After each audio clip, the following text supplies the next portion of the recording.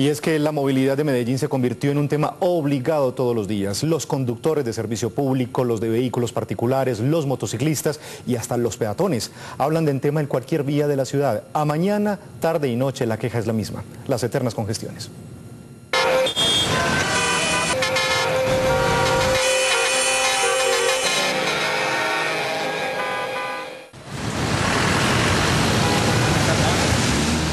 La 33 es el referente de un problema que se trasladó a todos los puntos cardinales de la ciudad. No es sino ver la avenida del poblado en una tarde para darse cuenta de que el tema va más allá de un trancón cualquiera.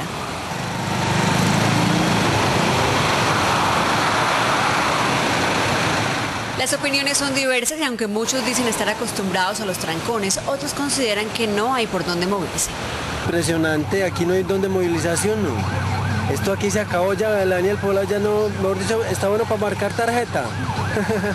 No, terrible. Lo único que están haciendo en Medellín es poner cámaras para multar a la gente, más no para prevenir estos, estos tacos tan impresionantes que están generando en Medellín. Si los tráficos se encargaran más bien de la movilidad, en vez de estar persiguiendo a la gente, sería mucho mejor.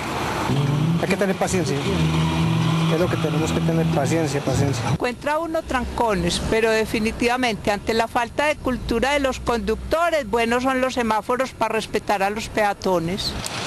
Pero no solo es la avenida del poblado o la 33, hay otros puntos como la avenida regional, la calle 10, la avenida de los industriales, la calle San Juan,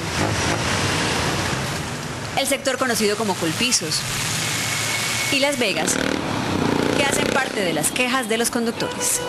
La 33, la, autopista, la avenida del Poblado y Las Vegas. Y Imposible. Imposible. Es mejor guardar el carro. Pues hay muchos puntos neurálgicos, el lado de Colpisos, en el rompoy de, de acá de la de Bulerías. Hay puntos muy duros. San Juan también es muy delicado. Toda la 80 y más por las cámaras ya hay que andar más suave. La situación de movilidad en Medellín es tan complicada que en ocasiones hasta las ambulancias deben padecer los efectos del embotellamiento.